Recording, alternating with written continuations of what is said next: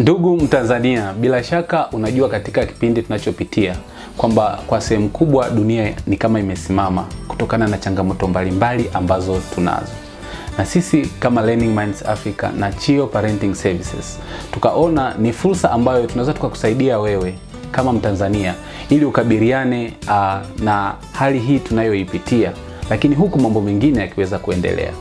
Hivyo tumekuletea utaratibu mzuri ambao utakuwezesha kujenga stadi uh, za umahiri na kuendelea kujifunza bila kikomo katika kipindi hichi, na tunafanya hii kupitia mitandao yetu ya kijamii. Tutafanya hivi kupitia uh, emails, lakini pia tunaweza tukafanya Zoom meeting, lakini kupitia WhatsApp na pia tutatoa utaratibu pia, unaweza ukapiga simu ukaongea na sisi. Huduma tutakazokupa katika kipindi hichi ambazo tutatoa bure kabisa, yani ni wewe tu kupiga hiyo simu, labda hiyo vocha ambayo utaitumia au kuingia kwenye mtandao na kutuma email, sisi tutakusaidia.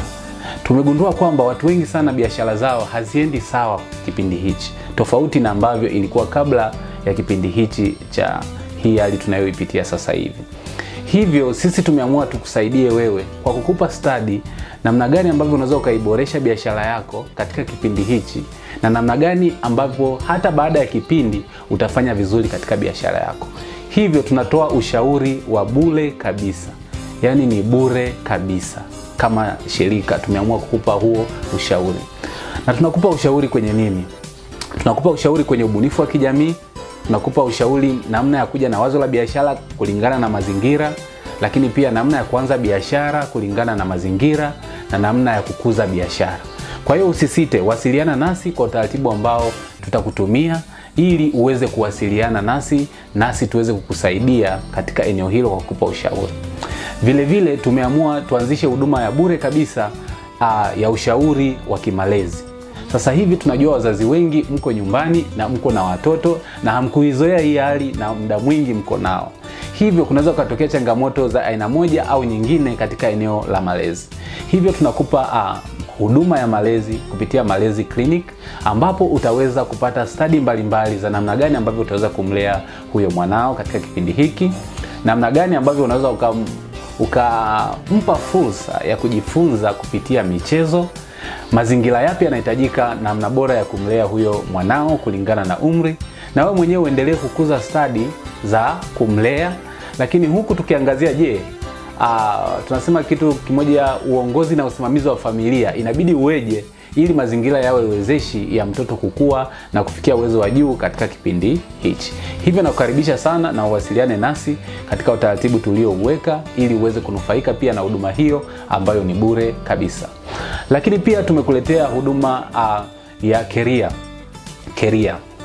Huduma za keria zinaangazia zaidi wale watu ambao kwa namna moja au nyingine katika kipindi hiki, wengine wamepoteza ajira, wengine wamesimamishwa, wengine hawajui wafanye nini, hali ambayo imetengeneza msongo wa mawazo kwa kiwango kikubwa sana.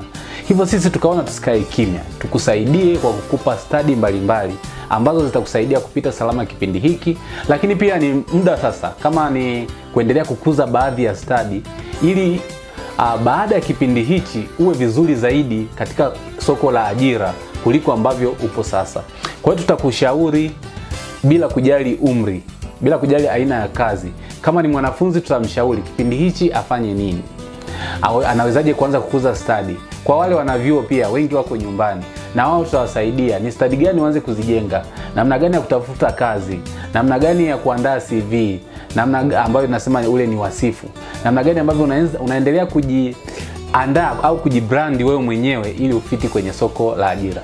Kwa hiyo kulingana na umri, kila mtu ana pakeji yake, na kupitia Career Clinic tunatoa hiyo huduma, na kipindi hiki ni bure kabisa ambavyo tutakuwa tunatoa, lakini pia uh, kingine ambacho ningependa nikwambie ni namna gani ambavyo tunatoa huduma ya maisha kwa ujumla, stadi mbalimbali za maisha.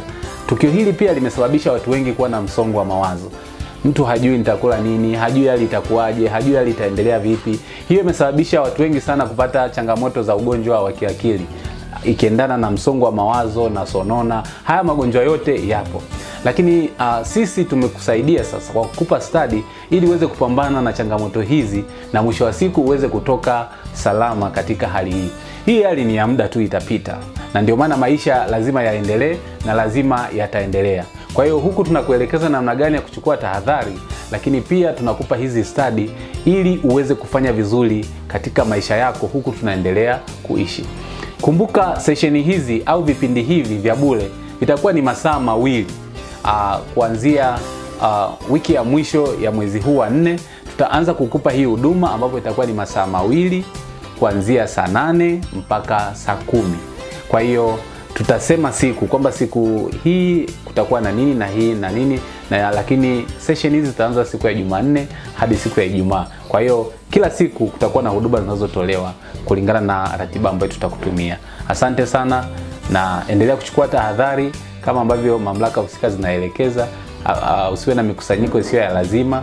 Nawa mikono kwa maji yanayotiririka na sabuni au utumie sanitizer na mengine kama inawezekana, kutokana na mazingira unaweza kutumia pia barakoa. Nashukuru sana. Karibu Learning Minds Africa na Chio Parenting Services. Mimi ni Elias Mwinuka.